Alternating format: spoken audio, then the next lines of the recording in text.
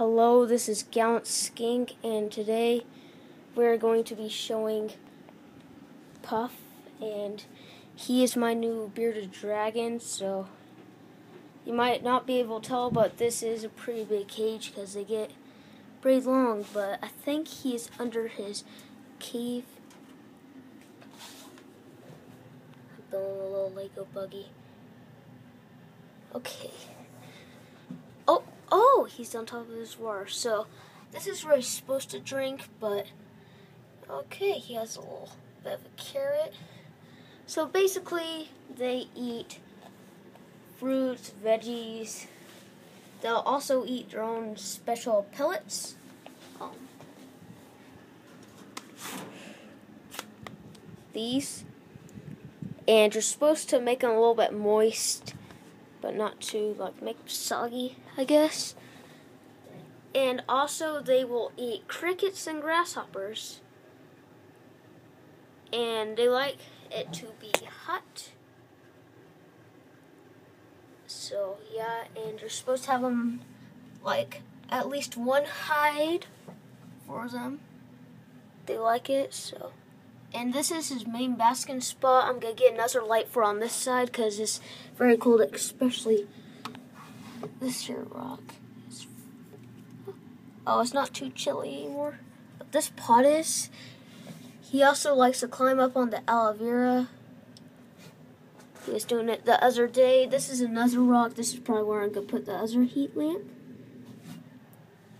There's also this hide which I think is supposed to be for hermit crabs, because it came with a hermit crab kit that I got at a store where you get used items, kind of like eBay, although, anyways, it was only $5 for a hermit crab kit.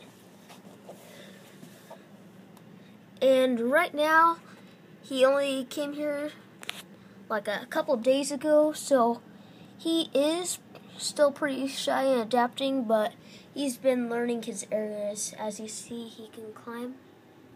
And also, I know this might sound wrong, but they like to poop. And so this is why I have this here pooper scooper. Okay. So basically you just sift it through the sand. There is no poop here. But those big clumps of sand, I got a little bit more because you're supposed to spray them in the morning so they can drink the water off of themselves. But takes all the sand out and leaves all the poop. See, no sand in there.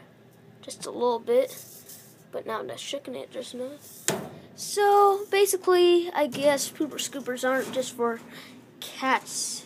So, well, more than cats, but I guess they're for reptiles now, so yay, this is probably to be a short video, but hopefully not. Maybe I can find something else to shove in here, make a little bit longer, maybe.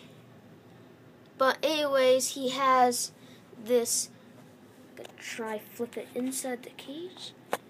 He has this light, which is, I think it's like a UV. It gives him sun rays, so yeah, he can get his vitamins. And also, he has his heat lamp, and at night we turn off both of those so it gets a little bit chillier, and he's all nice and chilly. I don't know if he likes chili dogs. Wait, wait, do you like chili dogs? I hope you like chili dogs. Let's see if he likes chili dogs. Do you like chili dogs? Well, anyways, yes, his name is Puff. Puff the Magic Dragon, his full name. Because he's a bearded dragon. And this is pretty much what you need to take care of them. I got two different brands of sand because they only had two kinds and one of each. A little bit of glass right there. I'm going to cover that up with sand. I don't think I got enough sand to make some big dunes and stuff, but I think this is pretty good. He is going to get a lot bigger than this probably. And yeah. Oh, oh, I think we have an intruder. Yes. Yes. Okay. Well, let's get back to the beardy. And let's give him a nice little pet. Pet. Oh.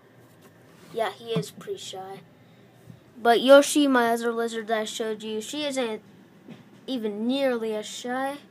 She's actually very friendly. She has escaped before, like I mentioned in that video.